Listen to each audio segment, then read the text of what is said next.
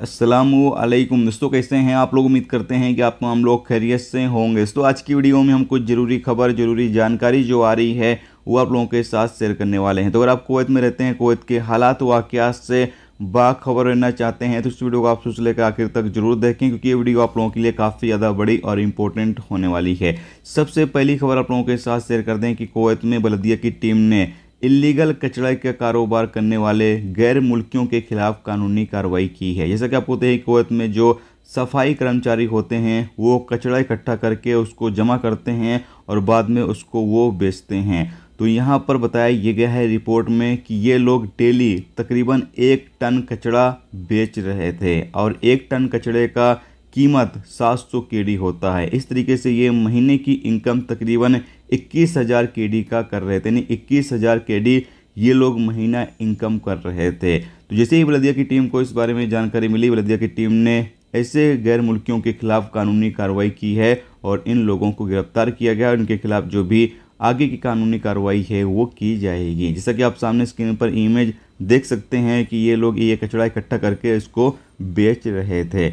इसके साथ अगली अपडेट ये है कि कोवैत एम की तरफ़ से अपडेट जारी करके बताया गया है कि जो लोग कुवैत के अंदर हैं, काफ़ी ज़्यादा एहतियात बरतें क्योंकि कुवैत में मौसम आने वाले दिनों में काफ़ी ज़्यादा ख़राब रहने की उम्मीद है। बताया गया है कि धूल भरी आंधी चलेगी और साथ में बारिश भी होगी तो इससे में तमाम ड्राइवरों से कहा गया है कि गाड़ी चलाते वक्त काफ़ी ज़्यादा एहतियात बरतें और कोई इमरजेंसी पड़ जाती है, यानी कोई आपको मदद की ज़रूरत है तो आप 112 पे कॉल करके मिनिस्ट्री की टीमों से मदद भी हासिल कर सकते हैं।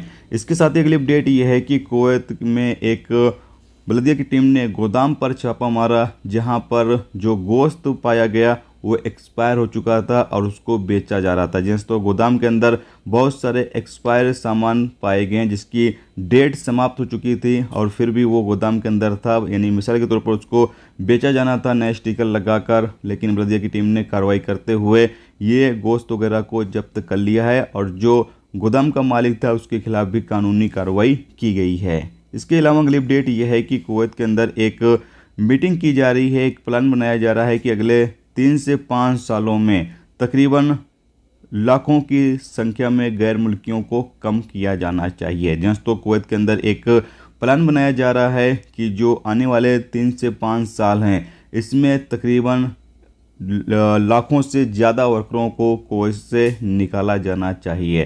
तो एक बुरी खबर है कुवैत में रहने वाले गैर मुल्कियों के लिए कि तकरीबन तीन से पाँच साल के दौरान लाखों वर्करों को कुवैत से निकाला जाएगा। तो ये ये थी दोस्तों आज की कुवैत की कुछ ज़रूरी खबर, ज़रूरी जानकारी जो मैंने आप लोगों के साथ शेयर कर दी है। उम्मीद करता हूँ ये वीडियो, ये जानकारी आपको अच्छी लगी हो, अच्छी लगी है तो प्लीज़ वीडियो को लाइक करके ज़रूर जाएँ।